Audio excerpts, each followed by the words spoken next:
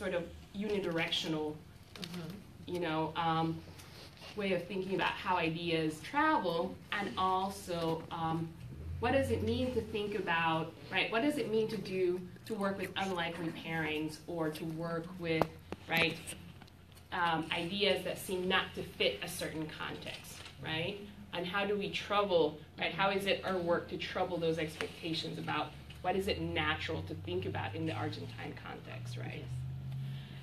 Um, so, um, and to, uh, I'm going to turn to Melanie's um, questions. Um, and I think I would say a lot of similar things about your question about um, what would it mean to, to stage a, um, a hemispheric dialogue on black feminisms across the Americas. I think one of the things that I, I think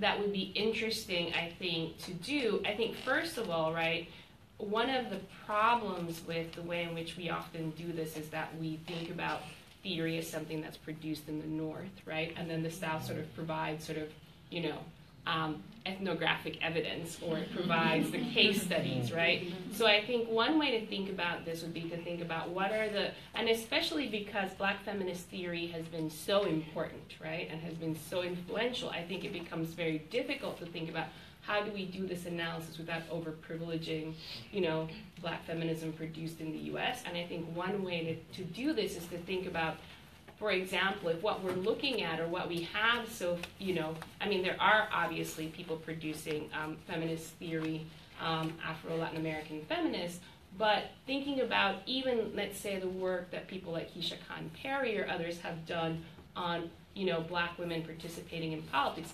Uh, so looking at black, right, mobilizing at these moments as sites for the production of theory, Yeah.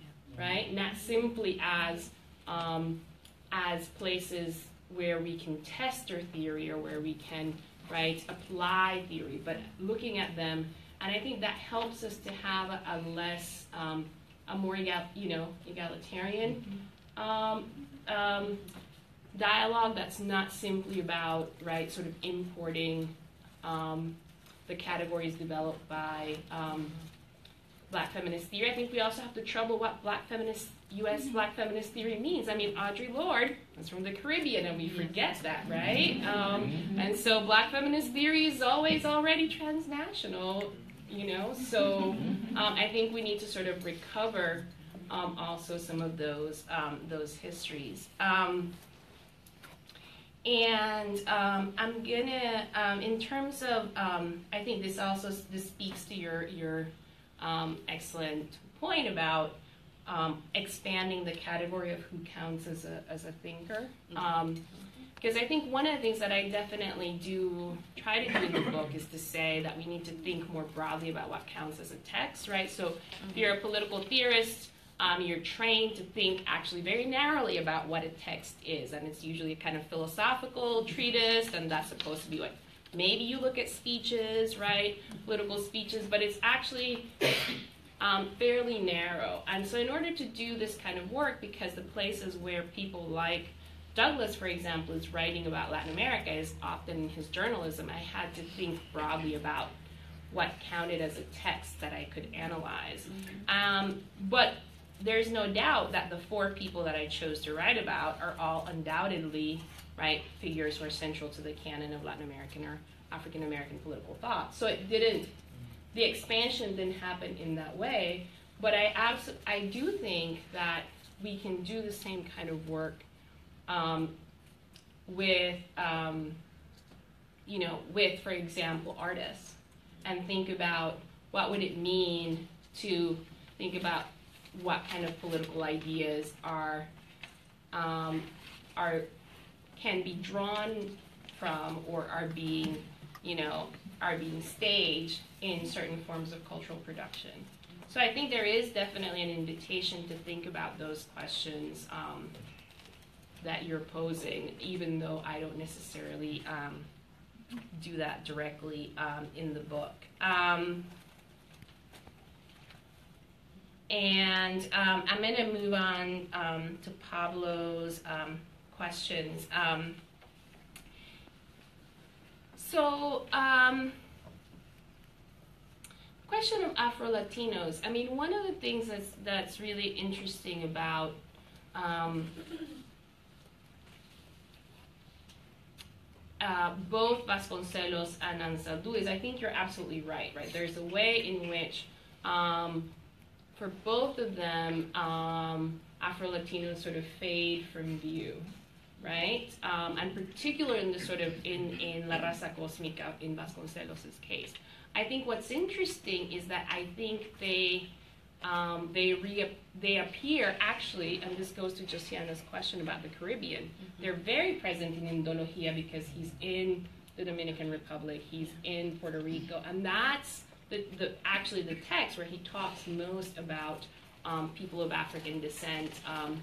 Um, and he's got this, you know, this whole quote, which you would not imagine coming from Vasconcelos, where he talks about how, you know, you like to paint Bolivar as if he's, you know, blue-eyed and, and you know, this descendant of Spaniards, but in fact, you know, he's um, actually um, um, black or of African descent, right? So there's a way in which I think there are moments in the text, right, where Afro Latinos do appear, but I do agree with you that I think by and large this becomes a story about, um, you know, kind of Indo Hispanic right? Mixture. Um, and that's, but that is also why, you know, one of the things that I, I try to do in the chapter is also to think about what does it mean um, for Vasconcelos to be at that point in the 1930s, right, at some points living in Texas during mm-hmm. the height of sort of, you know, um, anti-reconstruction backlash, racist violence. You know, this is a time of, of Latino expulsions and lynchings, right? Where people are Latinos in the U.S. are experiencing not the same level, but similar kinds of racial violence as African Americans. And in so in Bolivarismo y Monroismo, which is um, mm-hmm. published in 1933 or 34.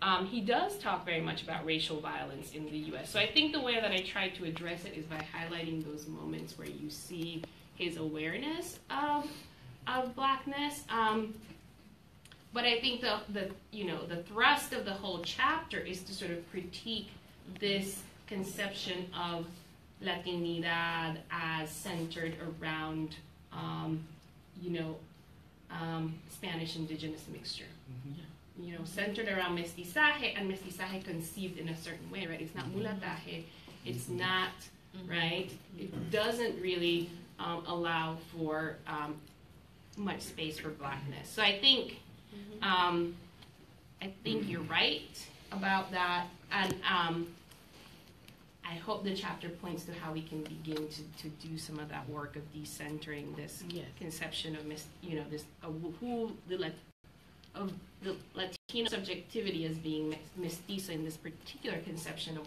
what mestizo is. Um, and in terms of um,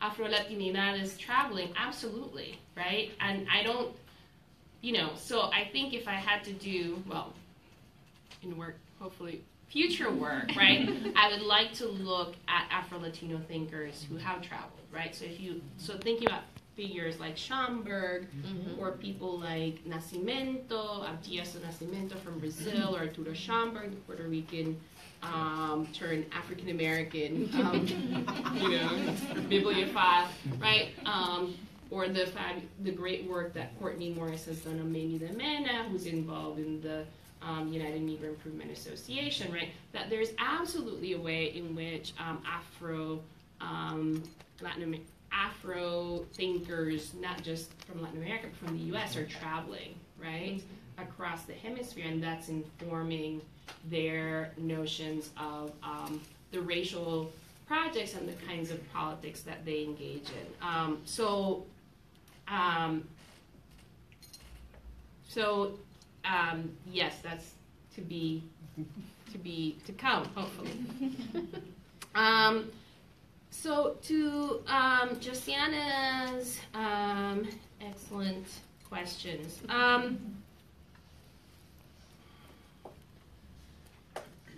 So I talk about the dreamers briefly in the book, right? Um, in terms of thinking about them as citizens who right? As people who are asserting a kind of enhanced democratic subjectivity, even as their citizenship status is precarious.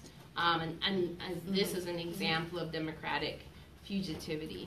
But I, I agree with you. So I agree that there is a way in which we can think about them in those terms.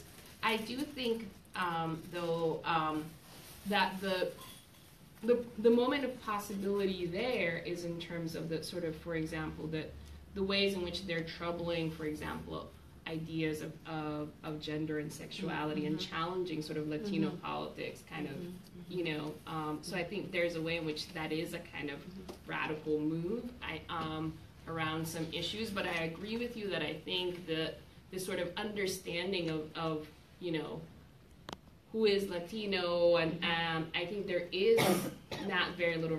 There's very little recognition of kind of blackness. So I think there is still this moment where you know I like this this idea of radical brownness, right?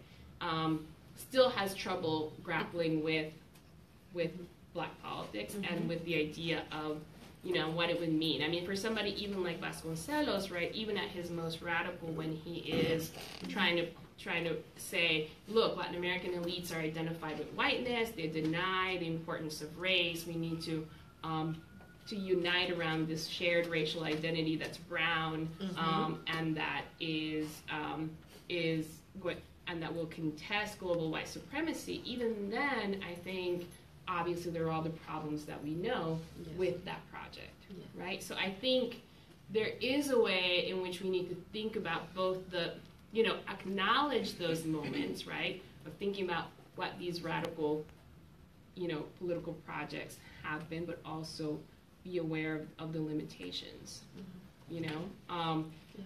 right, and the ways in which they almost seem to require, or in Vasconcelos' case at least, um, seem to depend on a flattening out of, um, you know, um, right, in order to achieve this kind of Pan American unity, he has to Mhm. flatten out the realities of, of racial hierarchy in Latin America. Yeah.